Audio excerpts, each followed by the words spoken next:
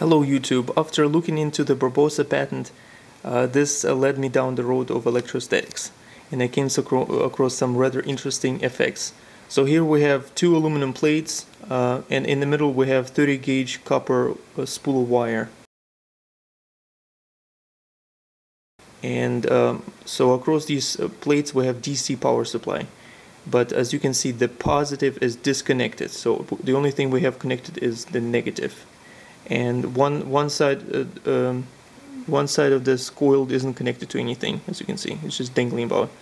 So the uh, then uh, the one side that, that is connected goes into our hot uh, AC and then uh, our other neutral is from the ground from the house ground up there. So let's see what we're getting. So okay we're getting 5.32 volts AC so this again this is schematic. See positive negative. But in this case we just have uh, the negative on top. Let's let's move the positive to the top. No. Okay. 5 uh, 5.32 volts. So uh, as you can see the circuit here is broken. We're just charging one side. The other side isn't connected to anything and then um, this uh, so we have electrostatic induction there. But the circuit is broken as you can see. So um, I found that rather curious. And uh, we're, we're going to see another example of this with a different coil. Okay so this is another example of this effect that I discovered. Perhaps somebody else discovered it but it's new to me. So here we have the schematic again. We have a very large coil uh, it, it's actually coil, one of the coils from the PMH that I made earlier. So it has four, around 4,000 turns of 20 gauge um, copper enamel wire. And um, it's wound around an aluminum uh, tube. So we have um, positive going into one side of the wire, no connection is made on the other side. And then we have um, connection to the aluminum tube going to our hot AC and then the other side goes to ground.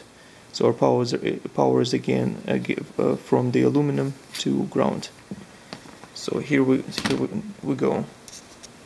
So as you can see this is our connection. See in this case I have a negative connected to it. And um, but you'll see whether it's negative or positive it won't make a difference. So okay so um, as you can see it's connected to the copper wire and then um, we have another lead connected to the tube and the tube goes to our voltmeter. We're getting 5.48 volts. Okay let's see what happens when we disconnect the ground okay? Disconnecting the ground. See the power dies now it's 1 volt. Okay now we're reconnecting the ground. 5 volts again. Now let, us disconnect this um, negative connection okay now we disconnected okay. 0.4 volts. As you can see power died again. See disconnected. 0.4 volts. Okay. Now instead of connecting the negative I'm going to connect the positive to this coil. See 5.43 volts. So um, so how is that possible? Uh, mainstream science wants us to believe that electron is the charge carrying particle but whether you use the positive or the negative breaking this circuit it doesn't matter. As you can see it's we're still getting the same voltage. So to me this indicates that there are two particles involved in electricity. Again let, let's let's try this again. So we have the positive connected. We're gonna switch it out to the negative. So we have a broken circuit. Okay. Going to our copper. The other end isn't connected 5.45 volts. I believe this effect is significant because we have an open circuit here and um, we shouldn't be drawing any power at all as you can see from the from the main. Sure there's but it, there's potential but um, that's it. And we're still getting AC AC voltage. So it's it's very simple to replicate you guys. Um, a spool of wire wound around uh, an aluminum piece. And uh, I'm going to try a, a third uh, version of this with uh, something you can readily get from a store. Okay, this is uh, another version of the same thing, but this one uh, it's effortless to actually uh, make.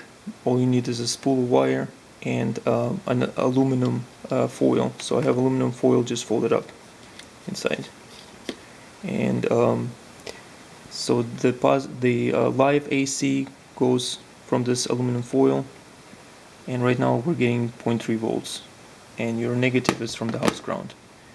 But see what happens when we connect one of the uh, the beginning of the spool to a negative terminal.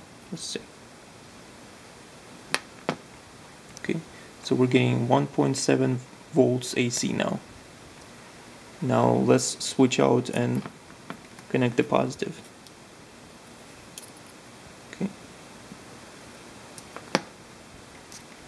Again, we're getting 1.73 volts, same as before. So here we have the conventional theory of electricity. So we have the electron, this is a load, see you have your two terminals and a load. So the electron moves to the positive and the positive charge uh, is, is equivalent to positive charge moving to the right. So we have one particle moving. See, this is a conventional um, explanation. This is Ed Leedskalnin explanation. We have two particles, a south monopole and a north monopole, as, and they're moving at the same time.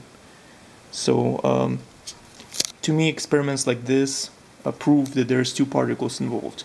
Because you see, we had the same voltage, we have a broken circuit, and we were getting the same voltage, same AC voltage, no matter which lead was connected to the coil. So I hope you guys play with this effect and um, have a good day. I hope you enjoyed this video.